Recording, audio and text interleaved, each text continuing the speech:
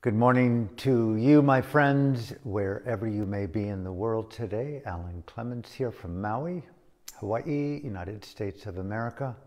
August 12th, 2021. I hope this finds you in your heart, in your, your beauty, in your conviction, in your devotion to make good on the promise of your soul, to actualize in your own unique, profound, courageous way your unique Dharma, your unique expression and engagement of Dhamma, your unique, novel, creative, courageous, vulnerable way to engage the innateness of consciousness as it rises through this, this portal called a body and mind.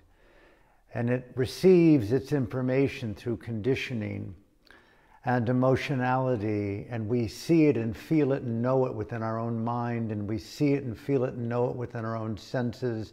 We perceive events and we think and we feel and we see other. And at that confluence of I and other, right there, the devotion to our Dhamma, our Dharma, our transformational engagement to, on the one hand, overcome complexity, self generated fear, greed, delusion, and to evolve, to co create, and to live within the radiance of these Sobhana Cetasikas, the beautiful states of mind. So, welcome to today. Uh, part three of this ongoing series of talks mind, art, language, expression, deliberate creations, if you will. I was thinking, here it is on Thursday, uh, and looking and feeling in my own yoga and meditation practice this morning some of the more definitive formations that I consider to be the basis of my expression of meditation, yoga, and Dhamma as a living experience. Let me just state this very obvious point how easy it is, and I mentioned this so many times, to live in the, the separation, the apartheid, if you will, of a preferred place to be to enact your or my own, our Dhamma. How easy it is to be desirous of a particular posture sitting meditation versus living and being and engaging and listening and communicating meditation. But, and in my own personal journey, I'm trying every way possible to be holistically inclusive, morning through night, night through morning, of a living, breathing, radiant conviction in being the best that I can be in enacting experientially Dhamma, Dharma, meditation, the intelligence of a holo- holographic mindfulness, a fullness of engaging the complexities, the vulnerabilities, the struggles, the beauties, the crevasses, the shadows, the conditioning, the lapses, of consciousness and context with myself and the ongoing rebirthing of these multiplicities of conditions within consciousness. Living your best life. Tomorrow I go to hospital to continue a more rigorous set of tests based upon some recent tests that have revealed complications with my own heart condition, my aneurysm in the aortic valve now. And so I am going to hospital tomorrow. There's a degree of uncertainty and vulnerability here in this, this mind art dynamic. And I'm thinking on the touchstones, if you will, of, of the basis of my being. And I keep coming back repeatedly in my own silences to these teachings attributed to Gautama Buddha. When asked what was the most abiding attitude that you referred to in evolving your adhitthana to become a Buddha, your determination to become awakened on the terms of the most heightened development of the paramis, the 10 states of excellence. And it said in the commentaries that I made each encounter along every life, along this long journey, in fulfilling the vision of my adhitthana to become a Buddha, an awakened individual, a fully awakened individual. I made each encounter the most reverential experience of that life. Ongoing, ongoing, ongoing, ongoing. Something so, to me, so magical and miraculous and beautiful about the invocation to be so on your determined greatness, having such passion in your artfulness, in your deliberate creations of the formations of your own chosen awakening. Deliberate creations. I walk through life, I move through life. You and I choose words and movements of our body. Deliberate formations initiated through cetana, intention expression and language. Do you know how often I would be encouraged as a monk and as a layman at the Mahasi Yeiktha? How well do you know your cetana? Something so artful and beautiful. How well do you know your intention to speak? How well do you know your motivation to act? Feel it, know it, live within it. Devote yourself to the study, the felt, meditative, mindfully intelligent study of truthfulness and the beautiful states of mind that you attribute to your own sense of unique awakening.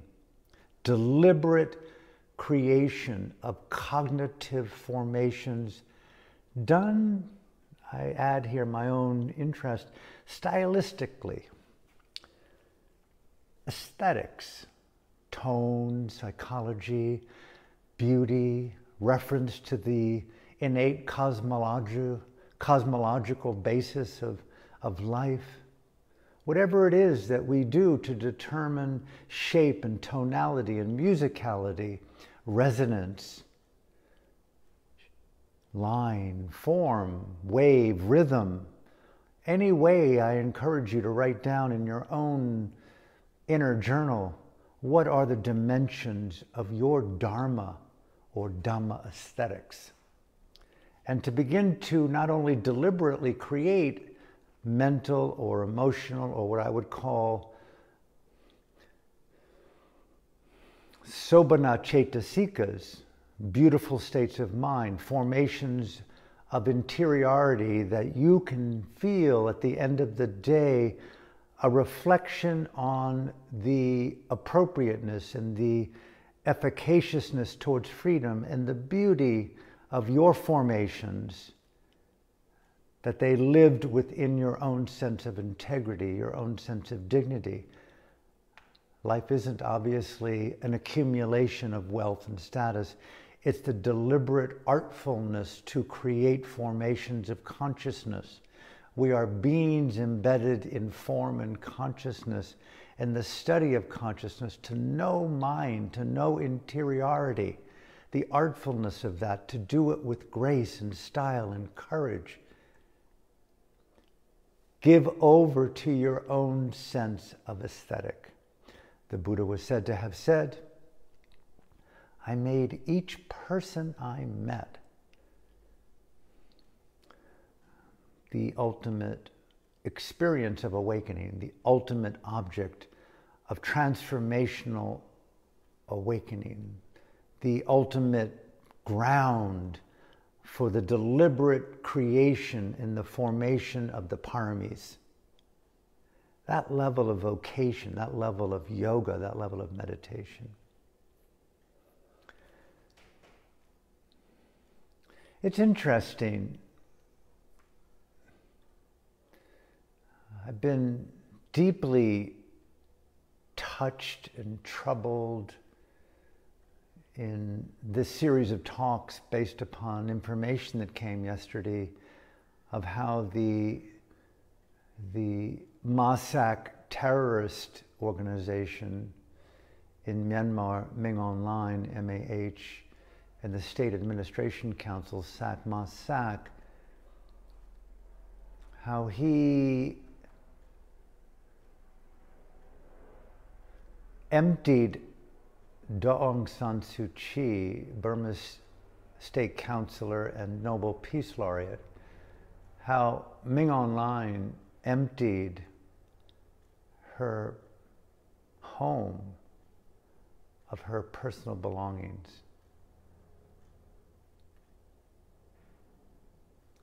And now, going into the seventh month, she sits I would assume alone in an undisclosed location.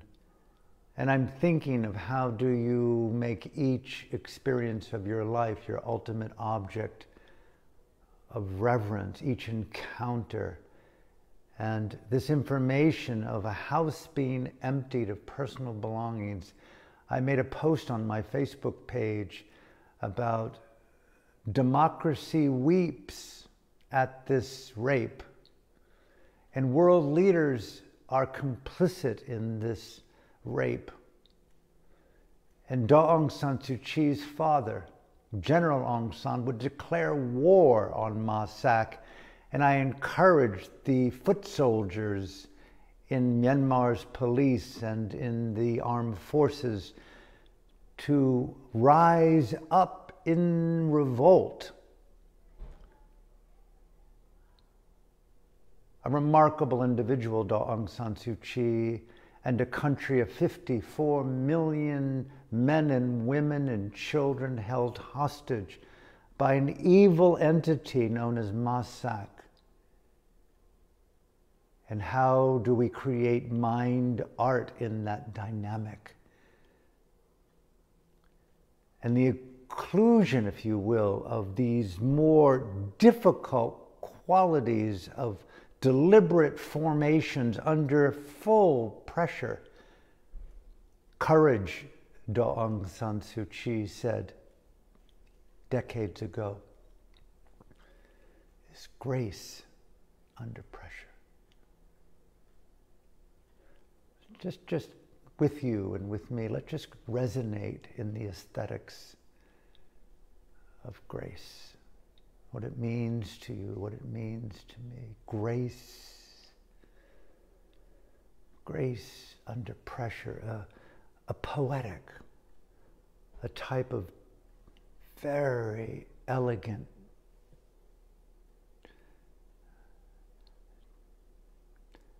Dharma theater,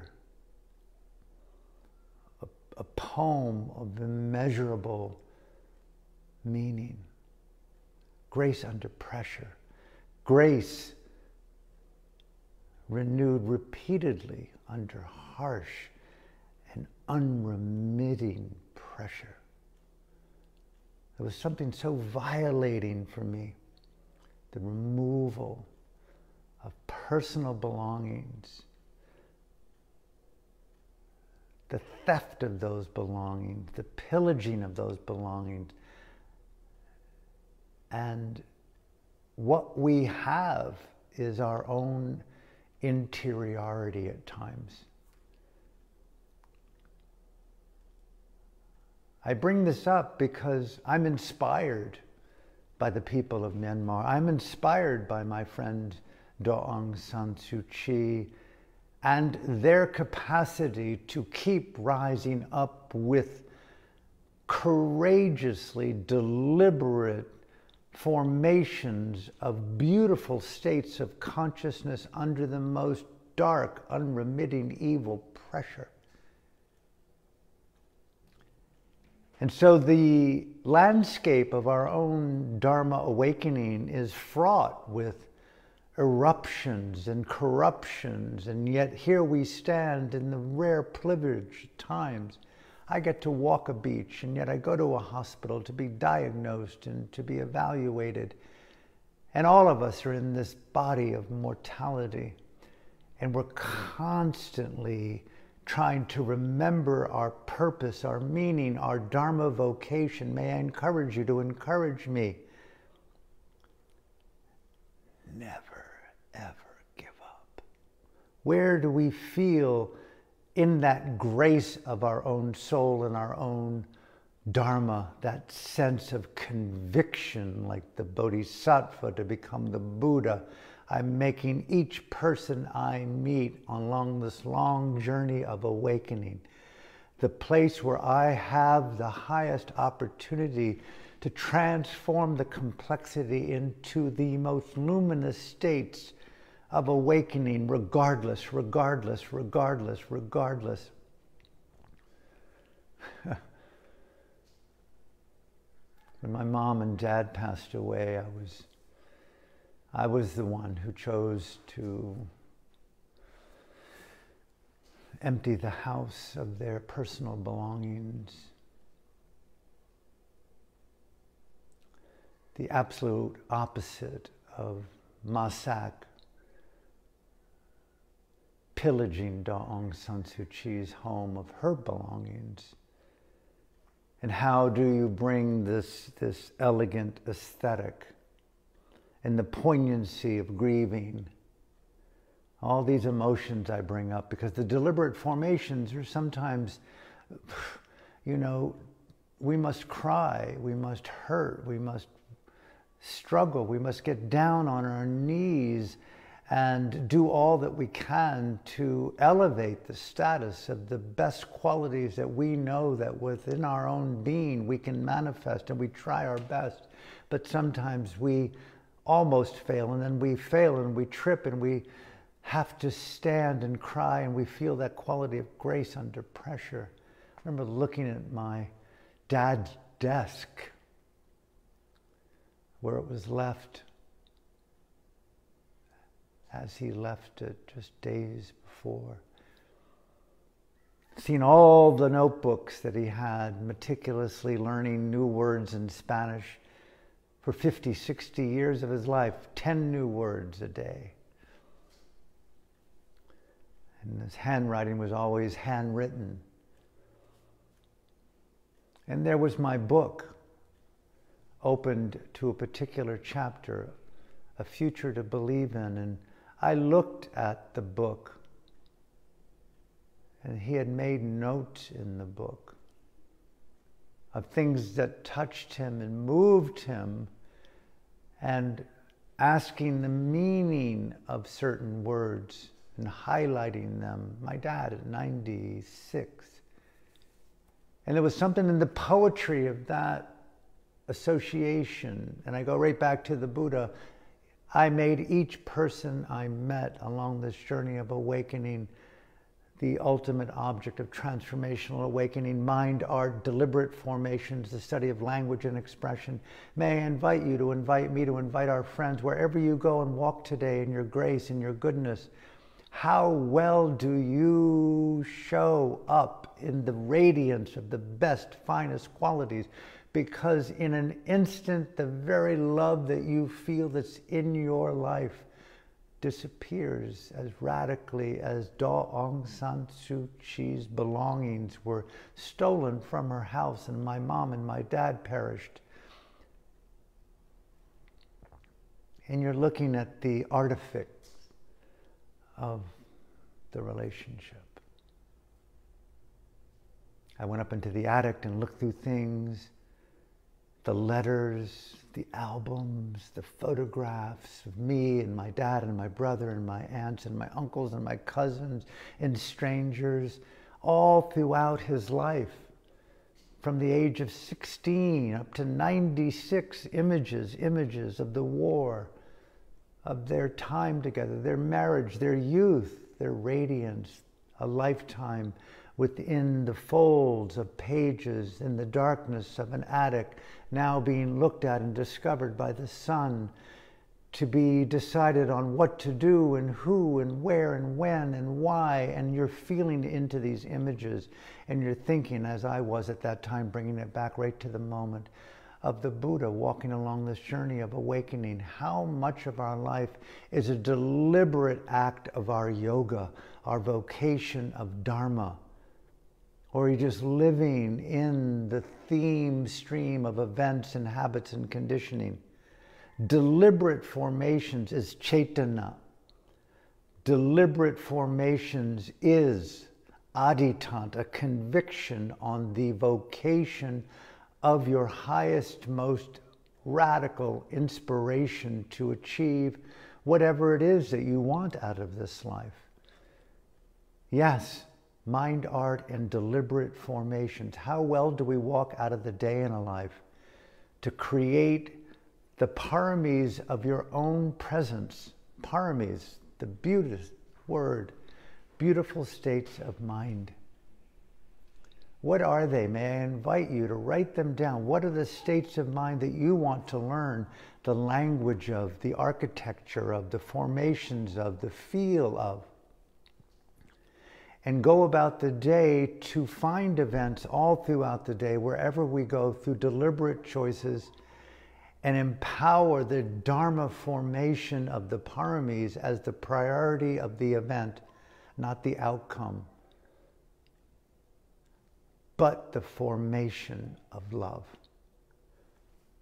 the formation of compassion, the formation of truthfulness, the formation of the aesthetics of playfulness, the formation of kindness, the formation of eroticism, the formation of grace, the formation of patience, the formation of concentration, the formation of wonderment and awe and curiosity, the formation of earnestness, the formations of formations of awakening to your Dharma. Let me encourage you, please, what is your Dharma? What are the colors of cognition and the aesthetics of those qualities on the palette of your own presence? What is it inside of you that you want to bring forth? Learn the colors and the formations, the energetic formations of the states of mind that you attribute to your own Dharma awakening. Let's not mimic the teachings of the Buddha. Let's enact the teachings on a personal aesthetic, the mind art of our own unique awakening, and to develop every possible strength and fortitude and quality of courage to keep alive, regardless of the circumstances. Grace under pressure.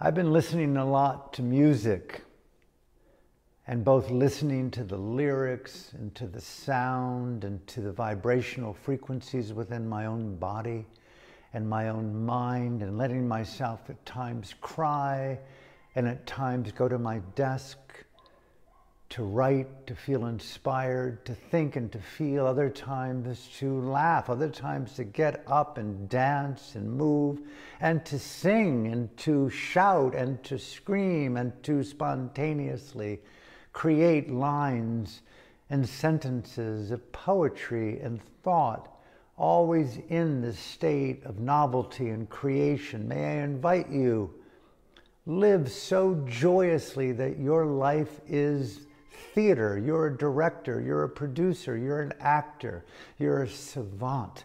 You are a bodhisattva in dynamic action, awakening to the luminosity of your chosen. Beautiful states of mind. At the end of the day, after going through the attic and seeing my father's images, 96 years in a few hours. You look back, you wonder, Who was it that lived all those hours and months and years, all those encounters? It all comes back, doesn't it, to quality, heightened vibrancy.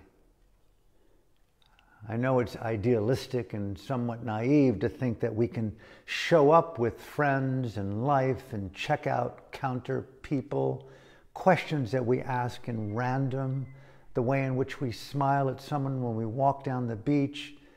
How well do we pursue our Dharma and the vocation of keeping alive intimate states of mind? Imagine if we just dedicated the day as we do to our yoga or to our meditation to a living experience of radiant Dharma in dynamic action. How well do you passionately show up? Overcome sloth, torpor, restlessness, doubt, worry, impatience, sluggishness, righteousness, pride, indignation, shallowness, brevity.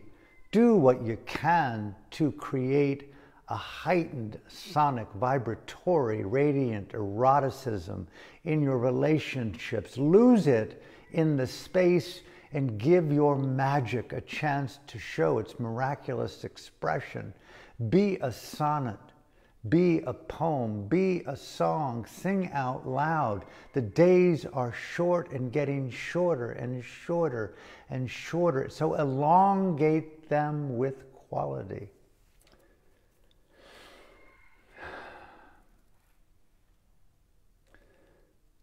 Improvisational, impromptu, the spontaneity, the spiritual treasure of Dharma jazz, grace on grace, holiness made holier, living in the radiant spirit of your cathedral, of your Jesus, your goddess, your Mary, your Christ. Take down the four walls of dogma. Whatever is required to make your life so memorable, make the event where you go, who you speak with, who you listen to. I don't see anything more important than not only taking the future out of existence, but taking the apartheid out of existence, taking the separation out of our hearts, and showing up with multidimensional Dharma possibility and purpose wherever we choose to be, and in that choice, create formations of transformational awakening. Rise to the highest levels of your own aspiring greatness. My dad learning 10 words a day, highlighting things in my book at 96 years old. I'm humbled. I'm awed doing things so well. Comes right back to the teachings attributed to the Buddha. Living a life so in reverence to your raison d'etre, your Dhamma. What is your Dhamma? The transformation of complexity and the evolution of beauty. Dedicating ourselves to that level of panoramic, holistic living in conversations as we move through time, mind, art. Coming to the end today. Just a spontaneous sharing here, trying to explore things without too many notes, too many references, too many hopes of being interesting or articulate, but the spontaneity of shared being with you, with me, with you and friends what can we discover there? Keeping alive the awe factor of wonderment, mystery, and the art of the beautiful question. There's something so magnificent to be with people who have a high priority of discovering you. The theft of Daw Aung San Suu Kyi's personal belongings is such a statement that I refuse to listen to your eloquent spirit, Daw Suu. That's what MASAC is saying. I don't have the capacity to hear your nuance, your subtlety, your beauty, your love of freedom and democracy. I've got to close it down narrow it down. I've got to put you into a prison cell because I'm so terrified of my intimacy. I don't know how to deal with you. and you can be sure, as many people have testified on my Facebook page and Instagram page, in my dedication to Daw Suu and my outrage, that her personal belongings were stolen, taken from her home. That is one small step from permanent life imprisonment.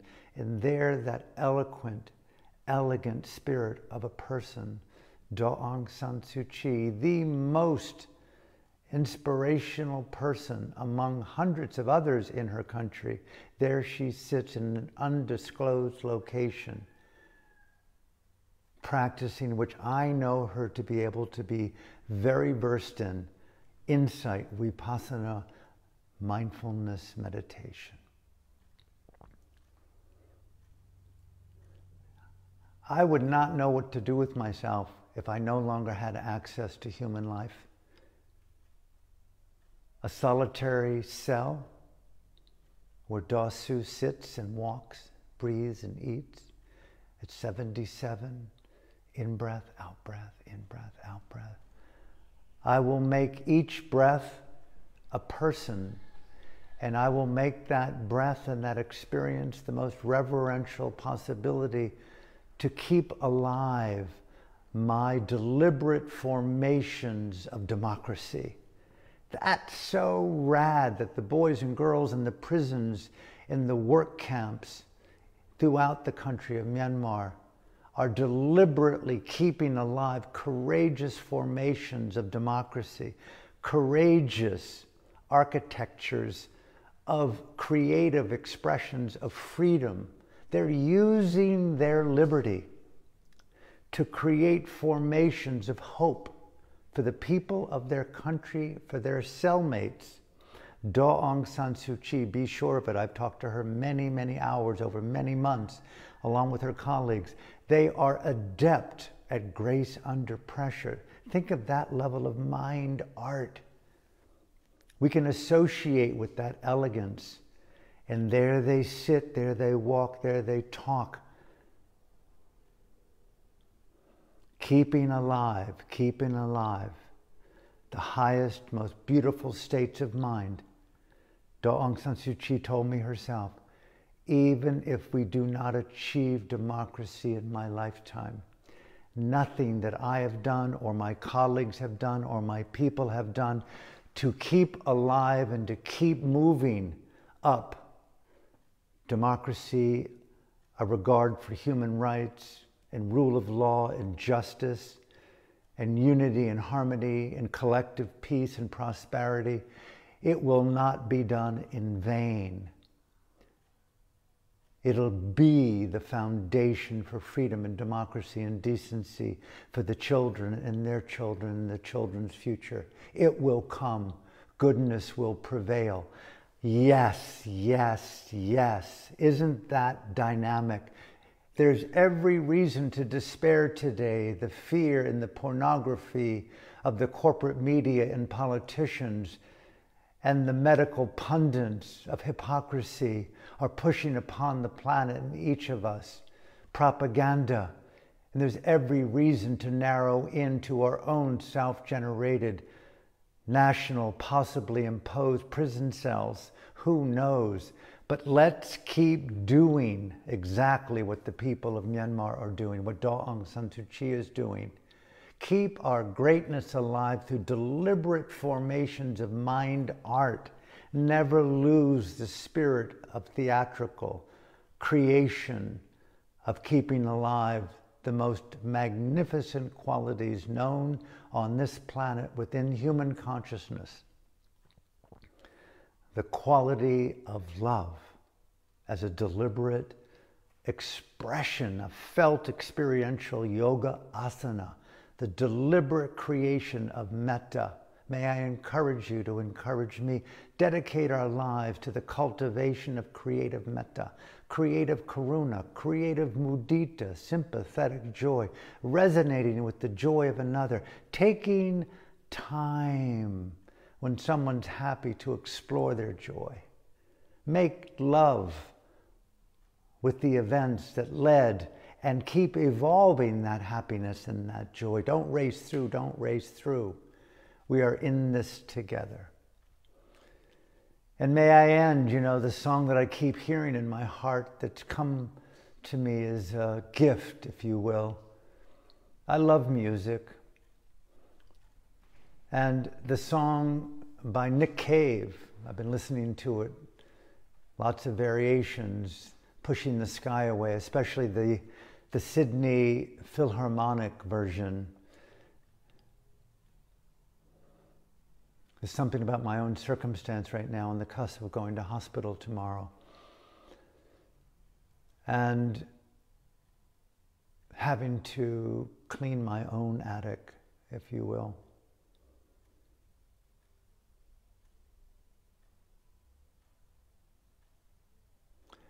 Having to empty my own closets of memorabilia. I'm choosing not to wait to impose that on someone else.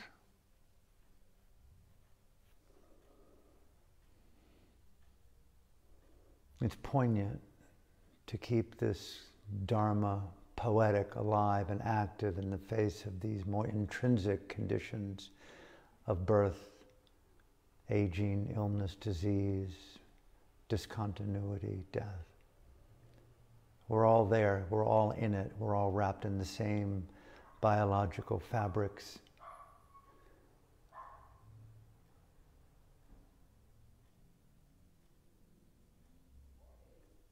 I keep coming back. Grace under pressure, courage renewed repeatedly under harsh, unremitting pressure.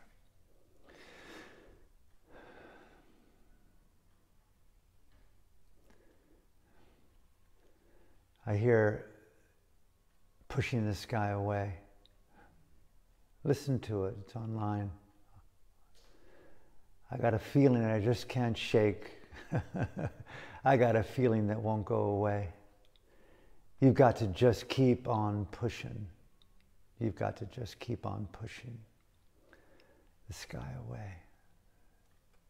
And if you think you got everything you came for, and if you've got everything and you think you don't need more, you've got to just keep on pushing, keep on pushing, pushing, pushing the sky away.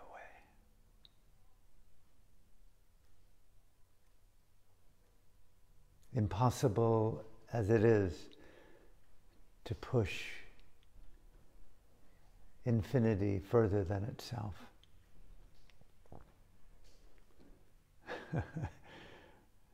the conundrum, the existential dilemma of birth within context of infinity and complication. It's so crazy, the jagged landscape of politics, democracy, the earth, the galaxies, dimensionality. I close here. Mind art is my salvation. Deliberate formations is my vocation. Pushing the sky away, pushing the sky away is my most basic, fundamental, elegant attitude when I struggle with fear or doubt or uncertainty or the absence of hope. May I encourage you to keep encouraging me when you've got that feeling that you just can't shake. Keep on pushing, keep on pushing, keep on pushing the sky away. Hope to see you tomorrow, 9:30. And uh, from my heart to yours, have a beautiful day. Thank you.